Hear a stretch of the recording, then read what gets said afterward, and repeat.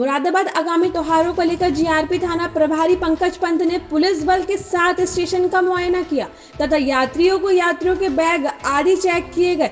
आने जाने वालों पर पैनी नज़र रखी गई। प्रभारी निरीक्षण पंकज पंत ने अपने स्टाफ के साथ दो हिस्सों में विभाजन किया तथा हर चेक पोस्ट पर सिपाहियों की तैनाती की गई जिस पर भी थोड़ा सा संदेह होता उसी को रोक कर चेक किया जाता। हर प्लेटफॉर्म पर चेकिंग के दौरान अपने स्टाफ को कड़ी नज़र रखने को कहा गया। ये सघन चेकिंग ट्रेनों में प्लेटफॉर्मों में बता और जो क्रॉसिंग में ईद की नमाज़ वगैरह पढ़ी जा रही है। वहाँ भी हमने क्रॉसिंग में अपने लोग लगा रखे हैं।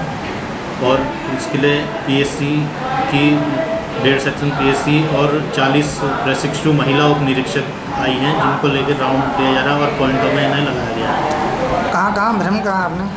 प्लेटफॉर्मों में और सर्कुलेटिंग एरिया में और ट्रेनों में सारे जो संदिग्ध टाइप के व्यक्ति हैं उनकी सघन चेकिंग की जा रही है। और कोई अगर संदिग्ध कोई पाया जाता है तो कार्रवाई की जाएगी।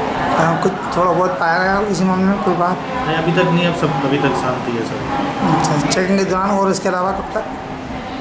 बाकी वही प्रभावी चेकिंग की जा रही है और आरपीएफ को भी साथ लिया जा रहा है डॉग स्क्वाड वगैरह है की चेकिंग हो जाएगी अच्छा कुछ शुभकामनाएँ रहेंगी आपकी क्षेत्रवासी के लिए? सब हार्दिक शुभकामनाएँ हैं सब सुखी रहें। हाँ सब शांति से त्यौहार मनाएँ